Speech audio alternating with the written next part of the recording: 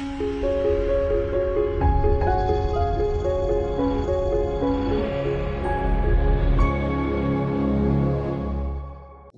大家好，今天是美西时间十二月二十九日，欢迎收看本期的《望维读报》，我是 Cherry。中共当局近期大撒把式的防疫解封措施，造成全国各地疫情泛滥，病患之多导致医疗机构应接不暇，苦不堪言。全球多个国家因为担心疫情在中国爆炸性飙升，有可能造成病毒新突变和新的变异毒株，而中共当局可能又不会及时向国际社会如实通报，因此先后决定对来自中国的旅客寄出和酸检测呈阴性的强制要求。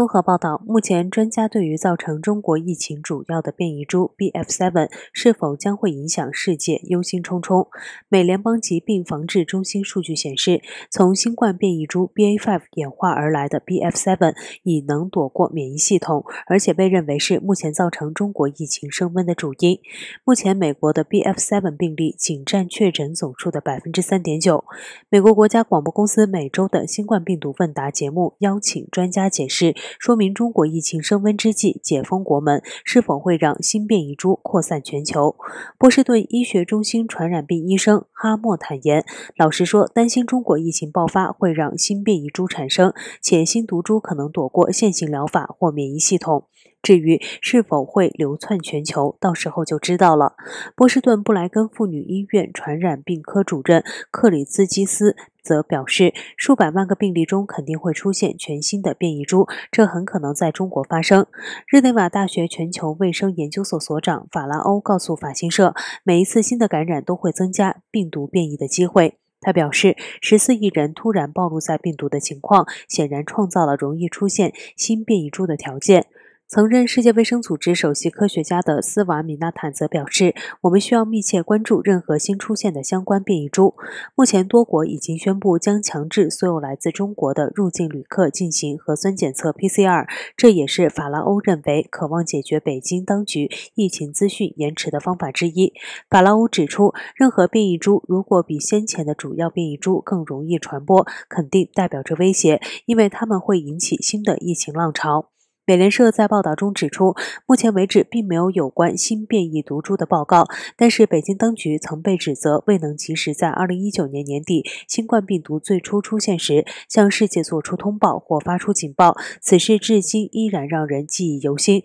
而且人们担心中共也许并未就病毒变异的状况与世界其他国家分享相关数据，从而对新的变异毒株入侵而造成疫情重新反弹与飙升表示担忧。世界卫生组织总事谭德赛表示，世卫组织需要更多有关中国疫情爆发严重程度的信息，特别是医院和重症监护室接诊病患的情况。才能对当前的状况做出全面的风险评估。意大利也传来最新消息，意大利总理乔治尼梅洛尼当地时间十九日宣布，到目前为止，在从中国抵达意大利的旅客身上没有发现新的新冠病毒变种。意大利在二零二零年二月全球疫情爆发初期是首个受病毒重创的欧洲国家，也是近期首个对来自中国的入境者进行强制病毒测试的国家。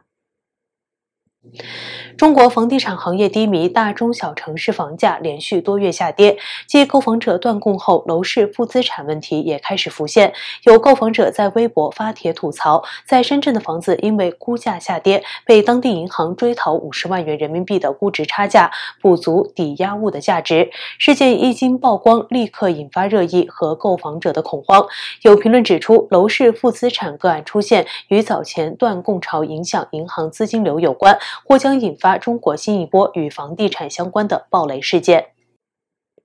自由亚洲报道，在微博拥有近三百万粉丝的知名数码博主李林杰，稍早前在微博发文表示，在深圳用贷款购买的房子，近期在银行重新评估房价后，因为估价下降，被银行要求按贷款合同支付估价差价，需要向银行支付五十万元人民币。他还特别提到，以往房价普遍上涨，更不能没人关注房价评估价下跌需要补交差价的条款。多家中国媒体都报道了李林。林杰的遭遇，并尝试联络博主，但没有得到回应。有报道表示，采访北京三名银行业人士均说，从未遇到要求购房者为房贷补足抵押物差价的情况。但有资深银行业人士补充，如果抵押物价值降低不足于银行估价时，法律容许银行可要求贷款人提前部分还款，建议借款人因应实际情况合理安排贷款金额。香港中文大学商学院亚太工商研究所名誉教研学人李兆波表示，李云杰的个案是典型负资产案例，这种情况对曾经经历过多次金融风暴的香港人来说并不陌生。但中国在过去二十年经济和房价只是涨不跌，这种情况注定会对投资者带来新冲击。李兆波分析，中国大陆的人对负资产认知很薄弱，因为他们一直经历经济增长，没有预计房价会下跌。在经济状况好时，银行不会要求提早偿还贷款，这反映现在经济不好，贷款人措手不及，也显示情况很严重。相信其他问题会逐步浮现。经济学者司令表示，北上广深是中国的。重要经济城市对市场状况最为敏感，这个现象本身至少也说明中国房地产泡沫已经距离它破裂的那一天又近了一点。断供是一点零版，现在负资产是二点零版。当时断供的时候，那些人很多是因为投资而断供，但现在哪怕是用来住的房子都出现负资产，说明中国这个人民币未来是长期表现不被市场看好。中国整个房地产企业，包括银行业的流动性危机、资金流。断裂的情况已经蔓延到了一个更深的程度，接下来将有更多的人群受到影响。资深财经评论人蔡胜坤也指出，中国房地产市场的问题涉及个人至银行等各个层面，当局在出台新的法律或政策也难以扭转房地产大势已去的局面。蔡胜坤表示，过去二十年由中共当局、银行和房地产开发商联手，造成中国房价只涨不跌的神话破灭，会大大影响政府财政收入。中共官方再派更多学者唱唱。好也难以解决困局。随着中国新冠疫情的大爆发，一些国家纷纷宣布对来自中国的旅客进行强制检测。欧盟委员会二十九日举行会谈，紧急讨论采取何种新措施，以应对北京当局取消新冠疫情旅行禁令的决定。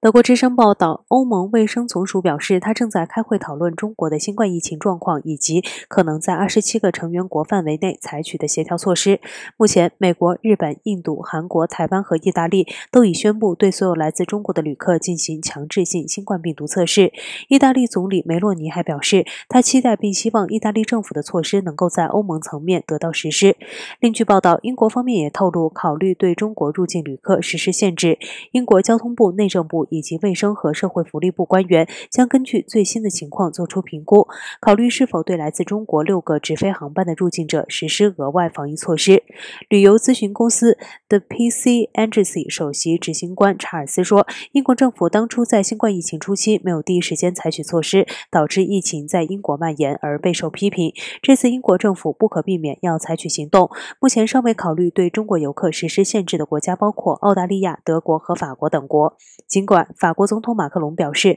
他已要求有关部门采取适当措施保护公民，但法国卫生官员表示，他们认为没有理由对旅客重新采取限制措施。德国宣布暂不打算对中国旅客实施限制。奥地利也表示，中国游客重返欧洲将会带来经济利益。尽管北京当局松绑重开边境，但最新调查显示，中美之间航班运力的增加依然受到疫情防控措施的影响。据彭博社报道，根据中美在疫情期间达成的一项协议，美国的航空公司飞往中国的航班数量上受到限制，双方必须修改协议，以扩大在中国的航班数量。美联航发言人约书亚·弗里德在一份电子邮件中表示，目前正在评估市场需求和运营环境，以确定何时适合恢复飞往中国大陆的额外航班。美联航目前每周有四班往返于旧金山和上海的航班。达美航空公司表示，目前没有任何变化。该该航空公司一直运营从底特律和西雅图飞往上海的航班，期间在韩国仁川机场经停。美国航空集团公司没有立即回应置评请求。该航空公司目前每周运营两次从达拉斯沃斯堡国际机场飞往上海并经停首尔的航班。此外，全球航空公司对北京的重新开放持谨慎态度，不愿立即更改航班时刻表，将飞机从其他航线转移。根据航空数据提供商的数据，与上周相。相比本周可查到的一月、二月和三月飞往中国的定期航班增加了不超过百分之二点九，每个月航班数量还不到一百班次，而且越来越多的国家对来自中国的旅客的防疫措施也进一步限制了航班的增加。好了，以上是本期《望美读报》的全部内容，感谢大家的收看，我是 Cherry。如果你喜欢我们的节目，欢迎您点赞和转发我们的视频，我们下期节目再会。